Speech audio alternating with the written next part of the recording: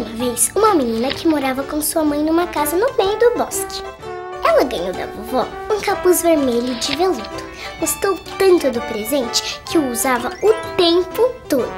Por isso era chamada de Chapeuzinho Vermelho. Certo dia, a mãe pediu que Chapeuzinho levasse uma cesta de doces para sua amada vovó, que se sentia um pouco fraca. A mãe recomendou que a filha tivesse cuidado evitando o caminho pela floresta. Chapeuzinho Vermelho saiu toda animada e se lembrou de levar flores para a vovó. Por isso, pegou a estrada da floresta e foi colher algumas. Distraída, deu de cara com o lobo. Ela não sabia que era o lobo mau, então não se assustou nem sentiu medo.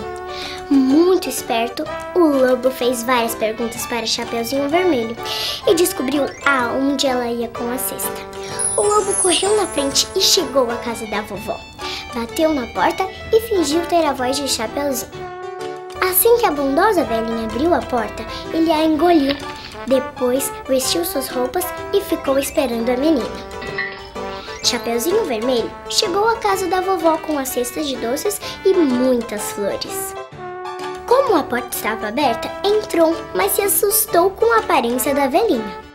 A menina achou que sua vovó tinha orelhas, olhos, mãos e boca muito grandes. Foi nessa hora que o lobo pulou e correu atrás de Chapeuzinho pela casa. Ele queria devorar a menina. Mas um caçador passava por ali e ouviu o barulho do lobo e os gritos de Chapeuzinho. Imediatamente, ele invadiu a casa e atirou no lobo. Depois, abriu a barriga dele e retirou a vovó de lá dentro. Ela estava viva, embora respirasse com dificuldade. Emocionada, Chapeuzinho Vermelho correu para os braços da vovó. Ela lhe entregou as lindas flores e prometeu nunca mais falar com estranhos.